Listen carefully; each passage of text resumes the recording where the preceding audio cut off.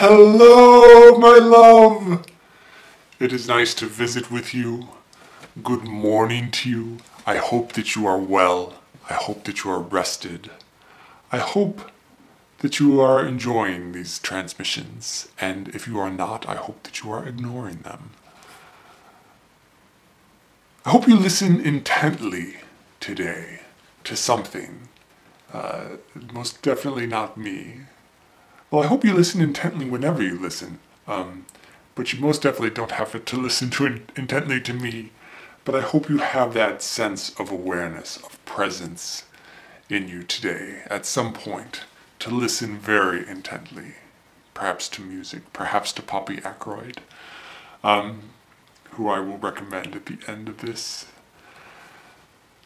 I was thinking about how to tell if you want to be a writer, or how to tell if you want to be anything in a sense, but I always had this idea, especially when I was younger, of being a writer, that I wanted to be a writer. And if you want to be something and you are using that language to describe yourself, I want to be X or Y or Z, it is much more useful as an exercise to take out the word and put in what that person actually does. So, how to tell if you want to be a writer? The question is instead of saying to yourself, or the exercise is, instead of saying to yourself, I want to be a writer, you say to yourself, I want to sit at a desk for long periods of time by myself and think of ways to describe people and events and things and things said. If you want to do that, then you might actually want to be a writer.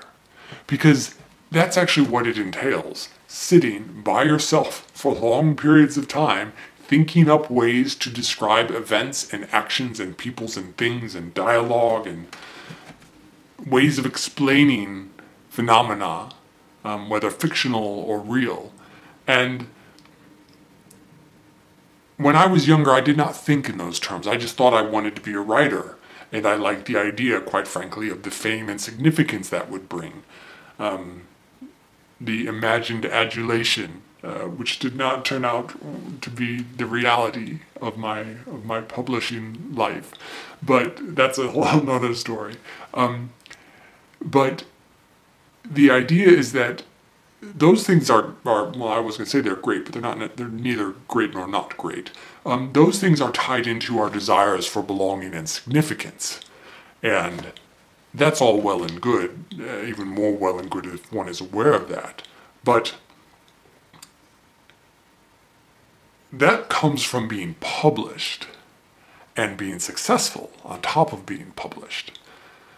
That's not what being a writer is. That's what being a famous author is. Those are two very different things.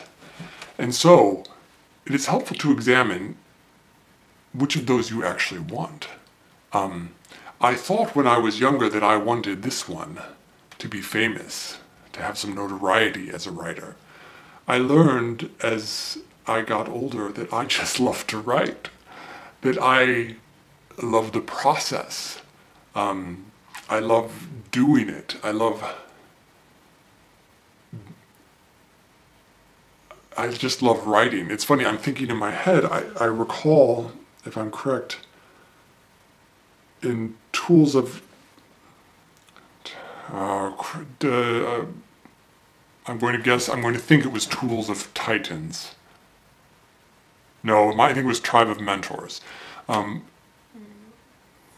there was a woman who, now I can't even remember her name, who said, whose advice to people was, if you want to, th- if you think you want to do something, think about the process.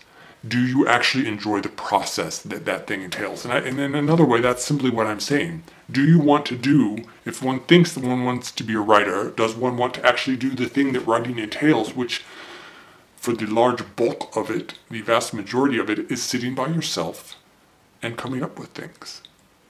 Making things up if you're writing fiction or finding ways to describe things that happened if you're not.